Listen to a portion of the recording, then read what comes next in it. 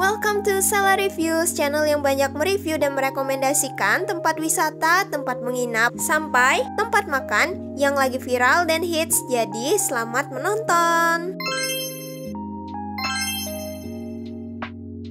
Hai teman-teman semua, hari ini Salah Reviews mau ajakin teman-teman untuk makan salah satu mie legend yang ada di kota Cirebon. Yang kalau misalnya kalian mau ke Cirebon, pasti ini salah satu mie yang bakalan direkomendasiin ke teman-teman. Nah kenapa sih mie ini tuh bisa legend? Karena mie ini tuh udah berdiri dari tahun 1983, jadi udah puluhan tahun ya Nah, jadi nama tempatnya itu Mie Colot Cirebon. Nah, lokasinya ada di Jalan Pekalangan nomor 15 Kota Cirebon dan bukanya itu dari jam 10 pagi sampai jam 9 malam. Dan saking legendnya, kalian tahu nggak sih dari Jakarta kalau namanya tuh ke Cirebon nyempetin diri buat nyobain mie colot. Jadi langsung aja ya kita cobain gimana sih rasanya. Nah, kalau untuk tempatnya, mie colot ini gabung dengan Tentori. Jadi kalau teman-teman mau ke sini bisa search mie colot Cirebon atau bisa juga search Tentori. Terus buat teman-teman yang mau makan di sini jangan khawatir ya karena makanan di sini tuh udah 100% halal. Nah, kalau untuk ruangannya dia ada outdoor dan indoor. Yang indoor tuh ada yang ber-AC dan kipas angin, sedangkan yang outdoor itu di pinggir jalan. Terus di sini juga udah ada wastafel buat cuci tangan ya dan juga ada toilet. Nah, jadi di sini tuh saya pesen 3 yamen bakso plus pangsit.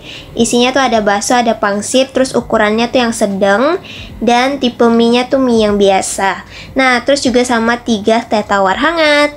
Kalau buat tempatnya sendiri tuh bersih ya menurut saya. Terus juga untuk sistem pesan di sini tuh pesan di kasir dan langsung bayar.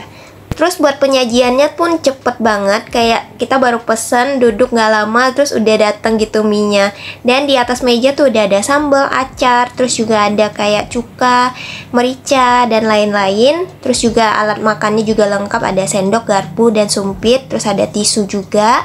Nah jadi ini yamin bakso plus pangsit kita udah dateng kalau untuk ukuran porsinya, walaupun dia ukuran sedang, tapi menurut saya ini udah banyak banget satu porsinya.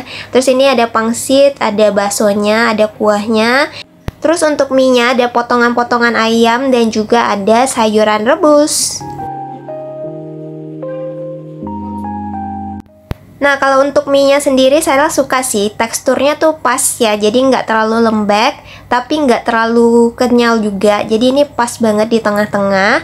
Dan ini potongan ayamnya tuh bener-bener yang banyak gitu loh. Jadi bener-bener kayak hampir apa ya seperempat mangkok tuh isinya potongan daging ayam terus sayurannya juga masih segar jadi enak banget.